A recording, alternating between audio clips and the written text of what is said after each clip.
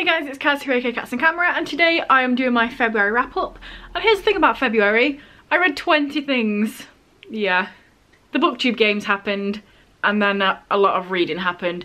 So I'm gonna just jump straight into this. I'm not gonna go into too much detail here because otherwise we'd be here for a million years. But I have been writing reviews for everything I read on Goodreads, so check my Goodreads down below. Friend me if you want. And yeah, if you wanna know more of my feels, hopefully you can find them there. Let's just go straight into the first book, which was Boy Meets Hamster by Birdie Milano. So this reads sort of like a middle grade-ish. I think it was a middle grade. I think the character was like 12, 13. And it's about this kid who goes on holiday with his family to Cornwall and he doesn't like it, which I think is lame because I used to go to Cornwall on holiday as a kid and it was really good, so he is wrong. But there, he fancies this boy next door in the caravan next to him and then there's also this giant hamster that happens. And yeah, it's just a bit of fun. There's a lot of diverse characters in here. Obviously the main character is gay, he likes a boy. And his best friend is mixed race. She has one of those red wine stain birthmarks. His little brother has cystic fibrosis. And there's also a black gay love interest. This was just a really quick, fun, easy read. I'm gonna try and be quicker Next I read Seidman by James Erich. This is set back in the day in Iceland where it's the Viking age and there's some magic drifting about. Religion's a big thing. It's when there's the old Norse gods and then the Christianity's coming in as well and our main character has some cool powers and he also likes the boy of the head of their tribe type thing. So yeah, gay Vikings. Next I read Fell Volume 1.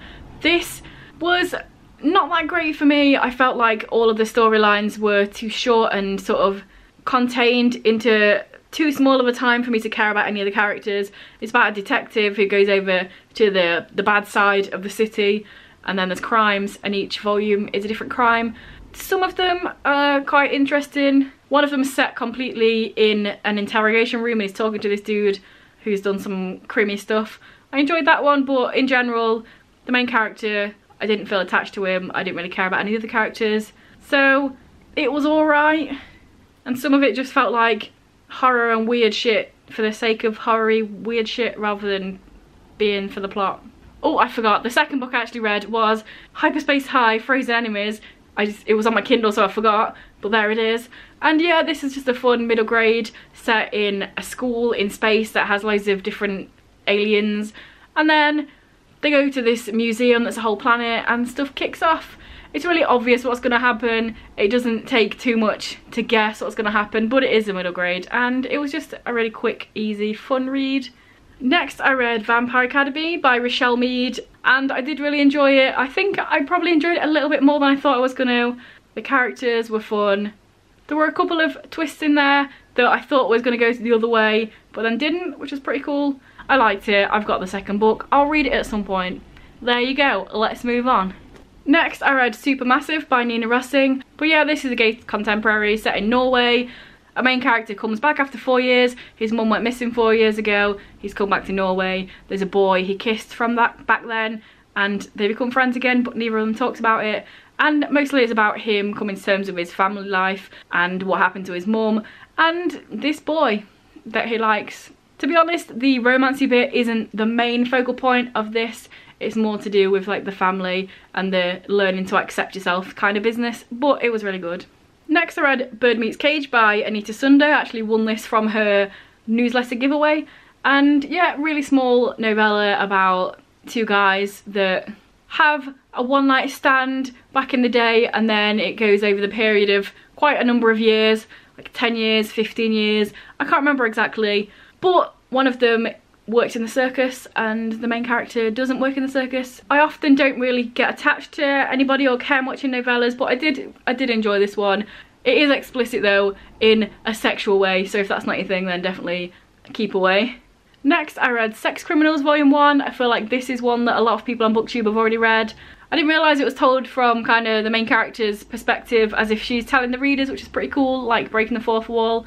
Quite a silly fun concept basically whenever this character has sex and has an orgasm, time stops. And yeah, some stuff happened that will obviously be explained more in the next volume, hopefully. Next I read Holes by Louise Sachar. This one I'd heard a lot about. I've never actually seen the film either, so I had no idea going into this what it was about other than people dig holes. But it was really fun. I didn't even know that there was a whole sort of something that happened 100 years ago story that intertwined with this and treasure. But it was definitely really enjoyable and I'm glad I finally read it. Next up, I beta read a book for somebody I'm friends with on Goodreads, so I'm not going to go into that one. It was LGBT, there was some cool crime and kidnappy type aspects. I enjoyed it, I gave some feedback. Let's move on. After that, I read Low Volume 1. Honestly, I was I wanted this to be better because it's by Rick Remender who does Deadly Class, which is one of my faves.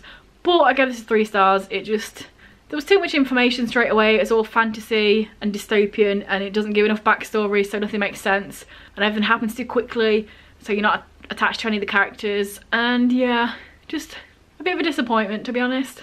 Next up I read The Gay Teen's Guide to Defeating a Siren by Cody Wagner. Now this one, as you can probably tell by the title, does have a slight sort of fantastical elements but they didn't really come into play until right at the end of the book. So this was mostly just a contemporary about a gay kid that gets put into a conversion camp but then secretly it's actually a camp that lets all the, the gay kids come and be themselves away from their bigoted parents. So yeah it's like a fun secret thing. But generally it was just a boarding school contemporary and yeah I liked it. I enjoyed it.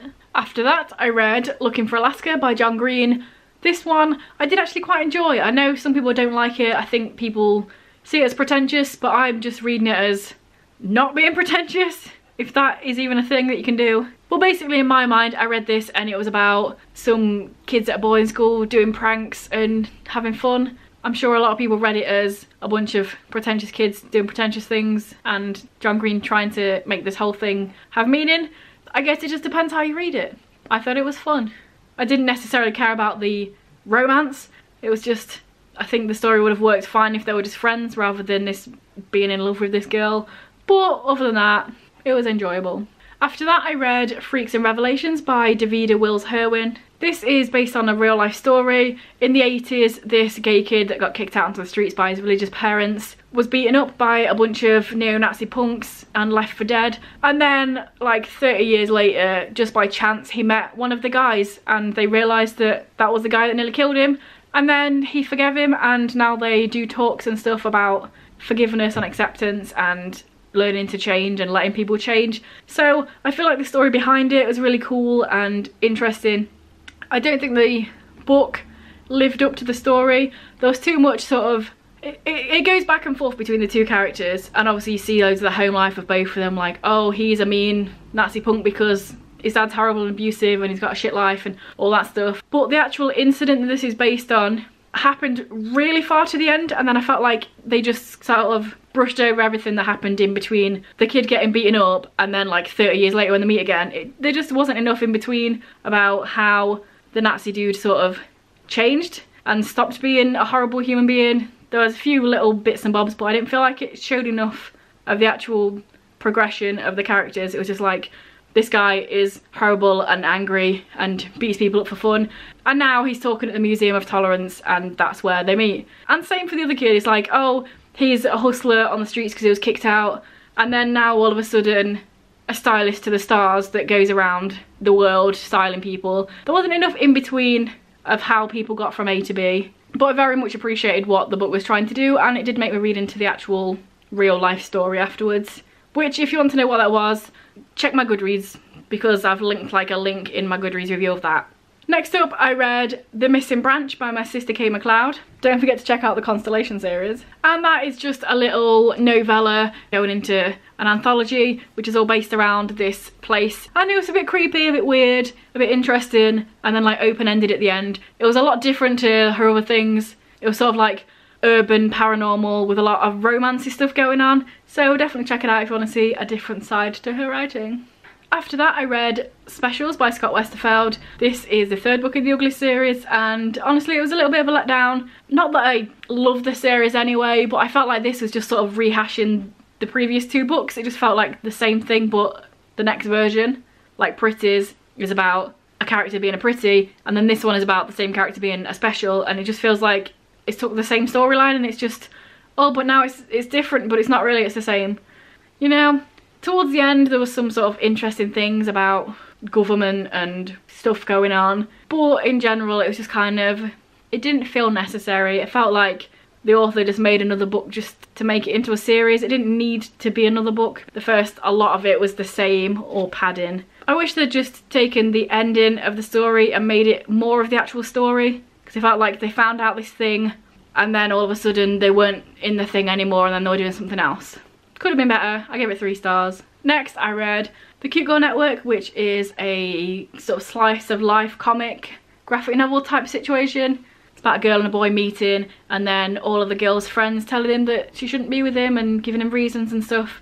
And yeah, there wasn't that much storyline, it was more just slice of life, as I said. But I did enjoy it, I thought it was pretty decent. And then after that, I read Last Winter's Snow by Hans M. Hirschi. This is pretty much a character study and a, a country study, I guess. It's set in Sweden and takes place over about 35 years. And it's just about this guy, Nilus, who is a Sami those are the native people of Scandinavia and it tracks his life for 35 years, meeting a guy, then being together for a long ass time and how the country and the attitudes of people in the country changed over that period of time. So we've got the AIDS crisis in the 80s and then later on it talks about civil partnership and then after that it talks about adoption or whatever and it sort of goes through this period where a lot of opinions changed about gay people and it's just really nice because it follows a couple that's together for a long ass time. So they have interactions with people that are like oh people like you oh wanting all the the horrid gay sex and they're like we've been together 17 years go away.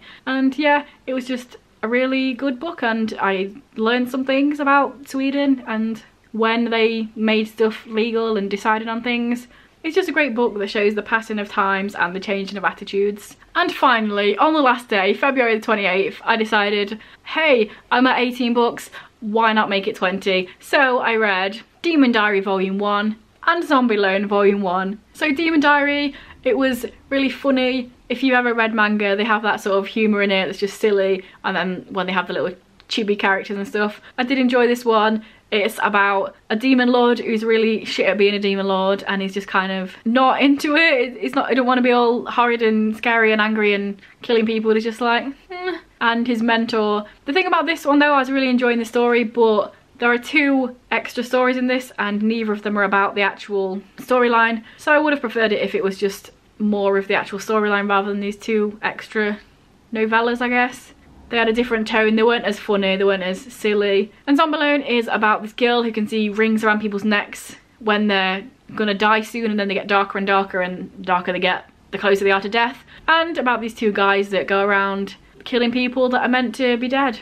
And again, I liked this one as well. So there we go, my 20 things that I read in February. I managed to read 4,405 words for the booktube games and then add another 50 for one of the challenges I completed. So all in all, definitely a good reading month. So let me know down below what you read in February or whether you participated in the Booktubes games. Let me know what team we were you in. I was in Team Neverland. Don't forget to check out my Goodreads if you wanted to look more into my thoughts on the books because I didn't really say anything about anything.